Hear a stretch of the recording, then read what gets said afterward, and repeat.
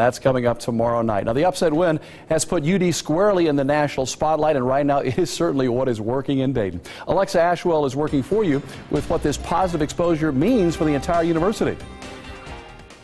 Mark, the win prompted me to buy this March Madness t-shirt along with hundreds of other people. Dayton advancing in the NCAA tournament is leading to a spike in local sales and interest in the University of Dayton. The bright, sunny spring day matched the mood of students on the University of Dayton's campus. The day after its men's basketball team's monumental win against OSU to advance in the NCAA tournament. Best game I've ever been to. UD senior Ben Heigl just got back from Buffalo.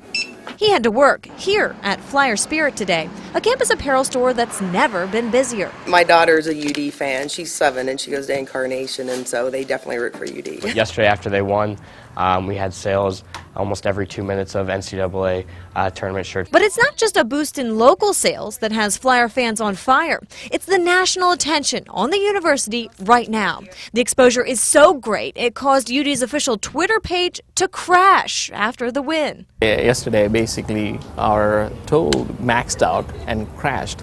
Uh, we had 10 million uh, impressions pretty much from a one day event. Sundar Kumarasamy oversees all marketing, communication, and admissions for the university. He was also ecstatic to see UD on the front page of the Wall Street Journal.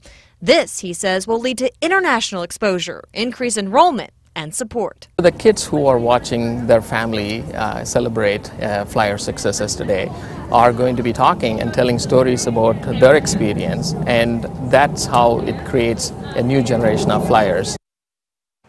UD tells me it believes this ripple effect will continue for years, if not generations, no matter Saturday's outcome. Alexa Ashwell, 2 News, working for you.